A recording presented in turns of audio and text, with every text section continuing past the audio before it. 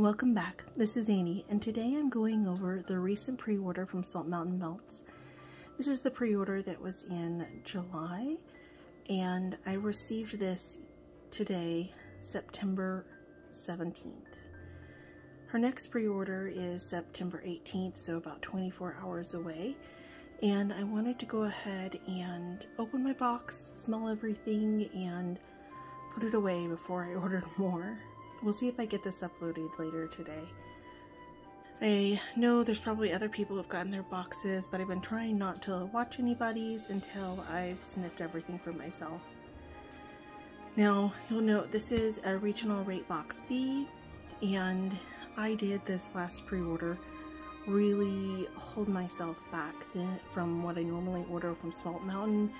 Normally I get two large flat rate boxes but this time I was like, no, with the moving kind of looming on the horizon, I just didn't want to add that much to my collection, even though Salt Mountain Melts is one of my favorite vendors. Amanda's the owner, and she's based in Utah.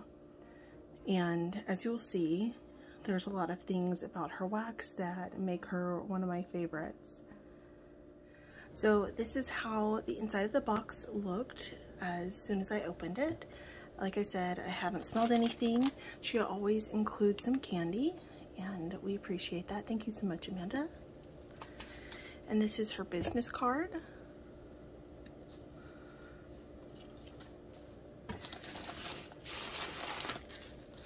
I appreciate that she always packs things so that they're not rattling around in the box.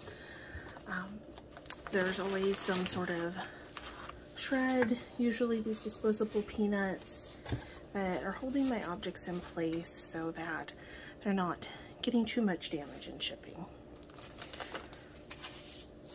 There were a lot of good scents on this pre-order list and then some that just certain notes didn't appeal to me so it did help me weed down this list a little bit more. Let's start with Miss Loaf in Evil Queen and I have ordered this from her before. I got some last fall and I really like this.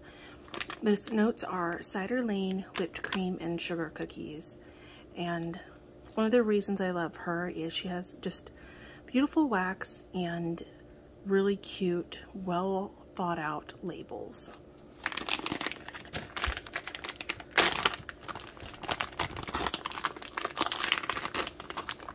Have melted this before. And I will say, it's primarily Cider Lane. It's a beautiful, vibrant red. It's that caramel apple. There's not any cinnamon or spices to it.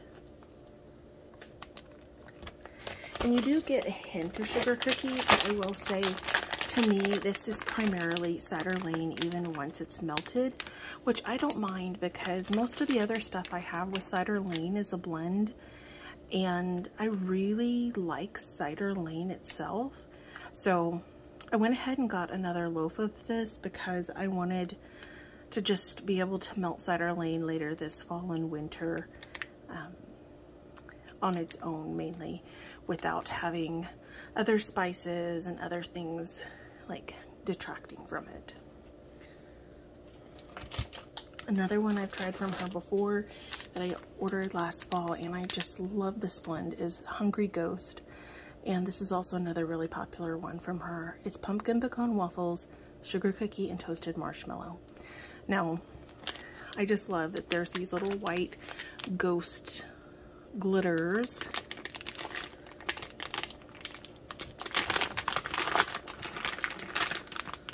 a little bit crumbly, so I may not pull this out fully of the 10.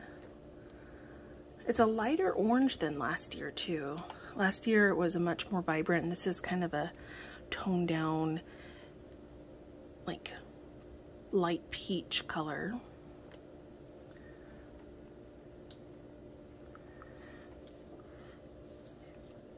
I love pumpkin pecan waffles, and if you're not familiar with that, that is a mapley buttery waffle with toasted pecans and a hint of pumpkin.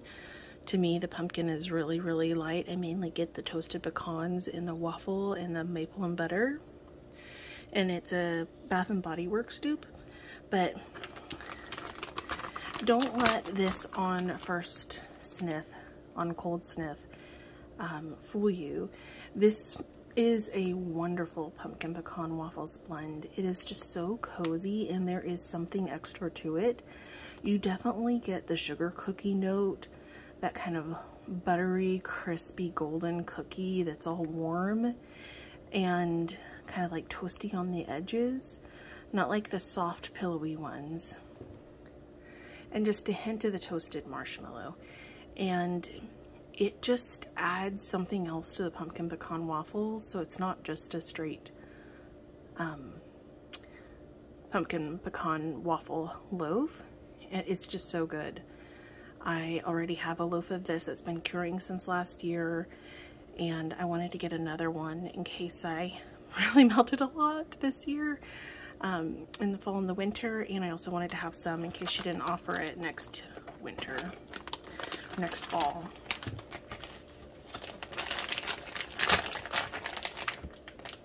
I remember last year when I first smelled this on cold, I thought, this is really sweet. I don't know if it's going to be too sweet for me once I melt it. But that initial sweetness does tone down and it just has this richness and cozy bakeryness to it that's beyond just regular pumpkin pecan waffles and it's wonderful. Oops, let me get that back in focus. Another one that I have melted before that I got another loaf of, and I really should have gotten more of this because this is one of my favorites from her, is Bread and Jam for Frances. Now, this is based off of a children's book series, and if you're a parent and you have kids or grandkids even, I highly recommend finding this book series about Frances the Badger. It is so precious, and we read this as kids, I grew up on the Frances the Badger series, and they were some of my favorite stories as a young girl. And one of the books is called Bread and Jam for Frances, which is what this blend is named after. And the scent notes are baked zucchini bread, blackberry jam butter cookies, and creamy butter. I had the opportunity to try this for the first time last summer, and I fell in love. Since then, I've had a little falling out with zucchini bread, but I still have about half a loaf of my loaf from last year. And I did melt some before ordering another loaf of this just to see, and it didn't trigger me, so I went ahead and got another loaf. It also reminded me of how good this blend is.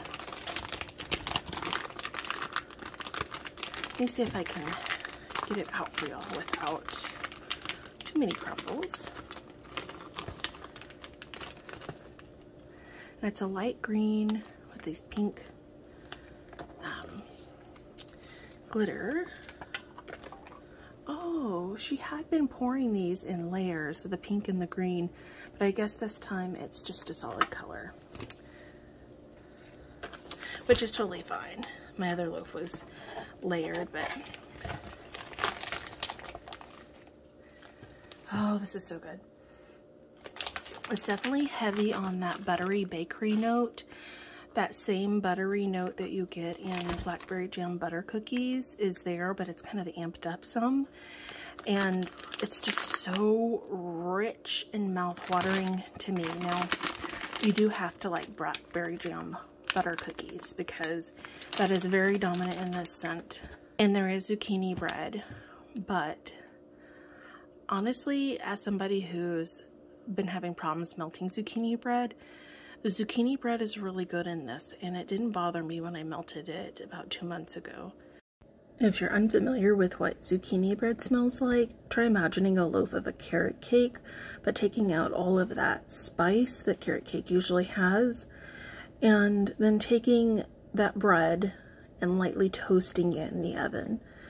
Kind of with this whole blend, that's what it makes me think of a warm slice of this sweet breakfasty bread and the edges are toasty. And then I've taken a great big pat of this bright yellow butter that has so much flavor in it. and spread it across and it's melting into this bread. And then a big spoonful of this jammy blackberry. Um, all of that spread across the bread and then taking a bite of that. That's what this smells like to me and it just smells so good. Sometimes zucchini bread in vendor wax will smell on the savory side, sometimes more on the sweet and creamy side. And this one to my nose is a little bit more on the creamy and savory side of things, but it does not smell like corn chips or feed to my nose. You definitely get the fruity blackberry jam note.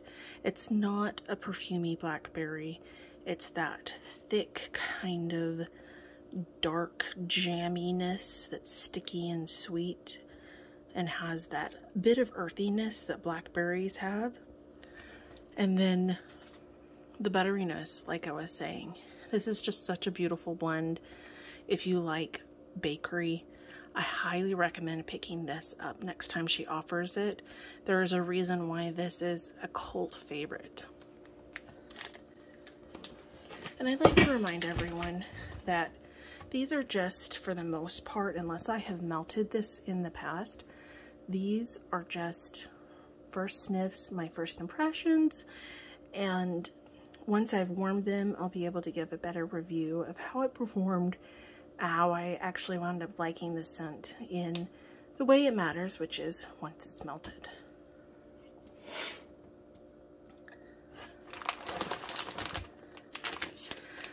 I have not melted this one. Um, I tried to get this last fall, but it was in the RTS and I just um, did not have fast enough fingers. And this is Cake at the Orchard or Orchicard, as Amanda pointed out recently. Um, I guess she didn't relabel these, but there is a little typo in there. So this is Cake at the Orchicard and it's apple cider donut, birthday cake, and Bartlett pear. I love apple cider donut scent. It's one of my favorites, honestly, year round. And I really love pear scents as well. This is a beautiful dark green with little copper leaves on top. Oh my gosh, this is so good. Yes, My mouth is immediately starting to water because of the pear note. Pear, if it's a good pear oil, always seems to do that for me. If you are not sure about trying pear and you want to get a pear blend from somewhere um, that's a little bit easier for you to pick something up and try it to see if you like pear, I recommend picking up a blend with pear from L3. They have an excellent pear oil and if you're not sure what to pair it with, I personally love their pear with salty sea air. Anyways, back to this blend, if I can get it out. Okay. Oh, it's so nice. You definitely get that cinnamon and clove from the apple cider donuts, but it's not too overdone. And then this thick syrupy sweetness of the apple and the pear is just beautiful together. It really reminds me of um, like an apple pear crisp. I love apple crisp on my on its own and I love pear crisp on its own, but I really love blending apple and pear together during the fall because they just add some extra flavor and I just I love baked pear honestly. If you've never tried that, I would highly suggest mixing it with your apple or even making a pear pie. I always make a pear pie every Thanksgiving and it is just one of my favorites. Oh, this is so good. That's really nice. I will say I don't know that I pick up on birthday cake. Birthday cake to me is usually just a general cake note and the donut is in there. And I think that's more of a strong bakery oil than birthday cake. So that's really what I'm picking up on. All right, let's go over the last of the loaves. And I normally go crazy with the loaves of Salt Mountain. I normally get loaves in a bunch more scents and I normally get multiple loaves in different scents that I know I like or think I will like. But again, just trying to be reasonable this time. This is Easy Bake Oven and this is Maraschino Cherry, Fruity Pebbles, Cotton Candy, and Frosted Cupcakes. I have not smelled this one.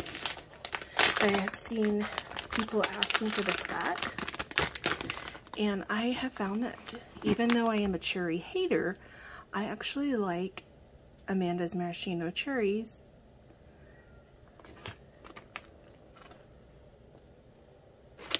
Definitely get the Fruity Pebbles. Let me take this out without being too crumbly.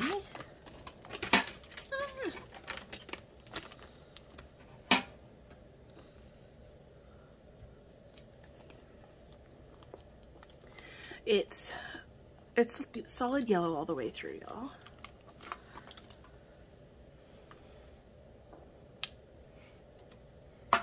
So first thing I get is definitely the Fruity Pebbles. And Fruity Pebbles, especially on cold, kind of comes off with the lemon and the orange being dominant. And sometimes it has a tiny hint of a citronella scent to it. But usually once that's warmed, it goes away. And I believe that will be the case with this one. I get the cherry just lightly, but mainly I'm getting fruity pebbles. I'm not really getting anything else. But that's okay. It might need a little bit more cure time and obviously things will come out better once they've warmed. All right, let me do a quick sort. Okay, I got one souffle of this, the Easy Bake Oven. I'm not gonna smell that one again. I got one souffle of Insatiable, and this is tobacco leaf, vanilla caramel sauce, and cinnamon glazed donuts. I went back and forth on whether to order this one or not because I haven't really branched out into trying tobacco just a few scents, honestly, and I haven't loved them. So I thought just get one souffle.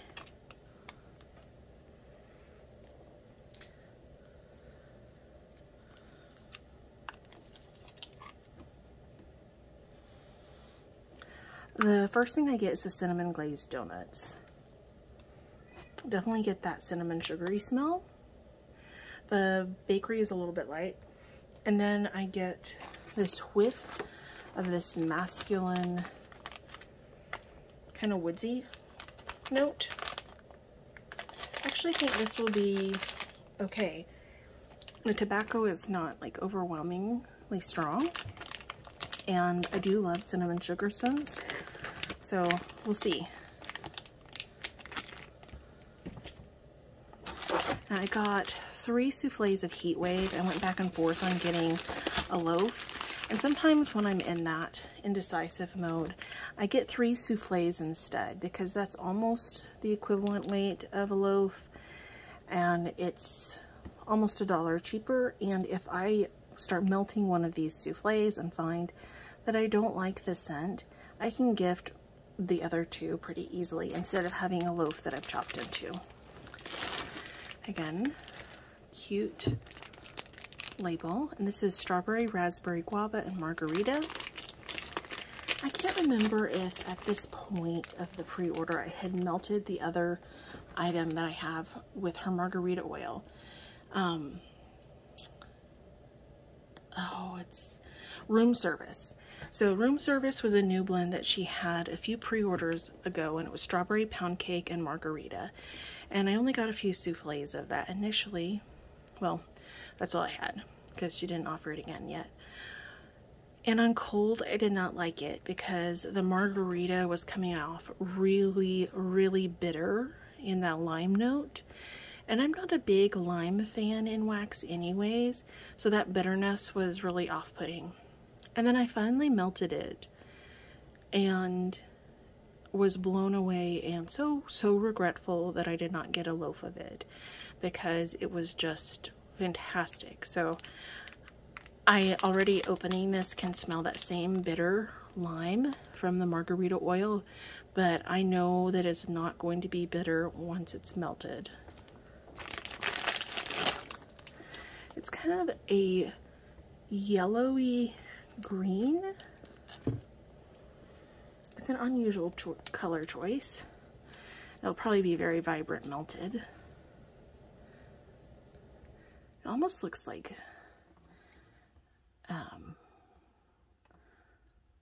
maybe two different batches or two different colors. Yeah, this smells good, except for that bitter artificial lime margarita note that, like I said, does go away once it's melted and it turns into such a good lime scent. Um, it's so strong on that note that you don't get a lot of the other, but I do get a little bit of that strawberry guava. So definitely anticipate that one being good.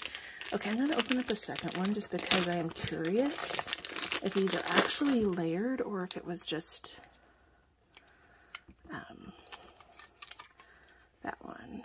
Yeah, it was just that one.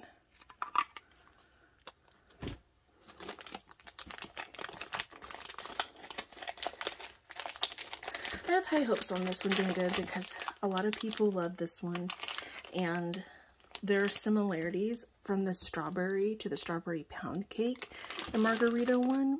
So this may be a good replacement for not having a loaf of that other one.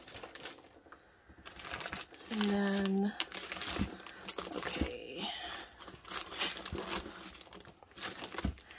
I only got one of these, and this is an extremely popular blend. It's Coven, and it's Marshmallow Fireside, Palo Santo, and Powdered Donut. And I've never picked this one up before because um, the Palo Santo and Marshmallow Fireside, last time she offered it, I just wasn't feeling like adding to my collection in a lot of amounts. And this time I only got one because I have tried her Palo Santo and Palo Santos are different, so different amongst different vendors. And this one is more of a sweet, smoky, kind of perfumy cologne Palo Santo. And I find that I prefer the ones that are a little woodsier and earthier. So that's why I only picked up one.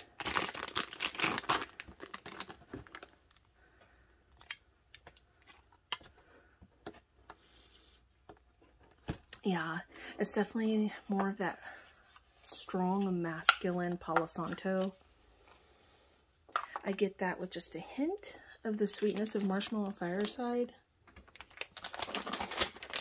And those are so strong, it really covers up the powdered donut on cold. Definitely have to melt it to see if the powdered donut comes out more. But those other two just drown that powdered donut out on cold. And then I did get another souffle of cake at the Orchard. No, that one's pronounced, that is spelled right. This is not cake at the Orchard, this is orchard. Orchard. Darn it. I am starting to pronounce orchard incorrectly. Let me see. Cake at the Orchard, or, or I cannot talk. Cake at the Orchard card and cake at the orchard. All right. I need to go practice my reading skills, I guess. Um, it's late at night. We went and saw a movie and um, that's my excuse. All right, I got two souffles of 100% That Witch and it's pumpkin cupcake candy corn and cupcakes at Tiffany's. I really like cupcakes at Tiffany's and that's the only reason I picked this one up because I am still so burnt out on pumpkin scents from last fall. I just really overdid them. That's also why I skipped the other pumpkin scent that was offered. I knew that it was a spicier pumpkin oil and I was just like, I don't, I still have so much pumpkin spice stuff that I just didn't want to get it. But really cute label. Yeah. And I like this color, kind of a light turquoisey green.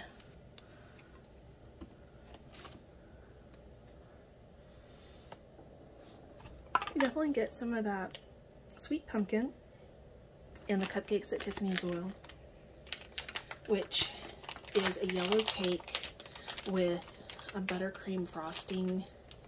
I get a little bit of a toffee note. I don't really get the chocolate on cold. And some cupcakes at Tiffany's have chocolate and some don't. This one, to me, I don't smell chocolate in. Yeah, I don't pick up on the chocolate. That's nice. I think this will be enough, definitely, for um, how much I am going to be avoiding pumpkin in the near future. And the last two are two souffles of Sugar Momma, and this is Strawberry Pound Cake Sweet and Salty. And I know a lot of people were so excited about this one because her sweet and salty blend is extremely popular. And that is a pretzel blend that she has. It's like a sweet bakery dough, soft pretzels. I am in the minority and I just, I although I love pretzel blends and I love pretzel oils, that particular blend is um, just not something that I really care for. So I decided to just get two souffles. Hopefully I will not regret this. I just love the label of this. Those big fat lips with the money in them. Sugar Momma.